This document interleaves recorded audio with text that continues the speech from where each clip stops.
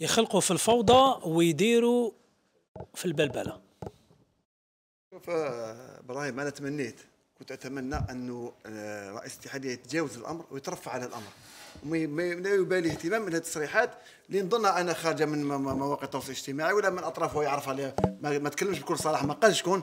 قال كاين أطراف ما عرفناش شكون الأطراف هذو ولكن تمنيت أنه لا المكان ولا الزمان ويستسلم ويلازم يتكلم في أمور كما هذه اللي خارجة الاطار الرياضي حسب يعني- رأيك لماذا أدلى وليد صادي بهكذا تصريح؟ أكيد أنا شح حتى في وجه والد صايد يت- تحس بأنه متأثر. تحس منرفز حتى في تصريحاته ملامح وجهه تحس أنه حتى الفوز اليوم وجهه يكون آه، ما باشوش يكون فوز كما هذا لكن بيظهر أنه متأثر جدا هذه التصريحات اللي يسمعها من هنا وهناك أنا قلت لك يا يا حبذا لو ترفع هذا الأمر وما الحق ما يتكلمش حتى ما يتكلمش على الشيء هذا ويشوف أمور أخرى اللي تهم لكن المنتخب اذا كان الأمر لأن ح... إذا كان الأمر حقيقي يا حتى ولو. يا وهاب. حتى ولو أين حتى ولو المشكل إذا تحدث وأين المشكل أيضا إذا قال من هم هؤلاء الأطراف؟ لأنه عندما تقول بأنهم لا ما يفرحوش بفوز المنتخب الوطني الجزائري فهذا أمر خطير. صح.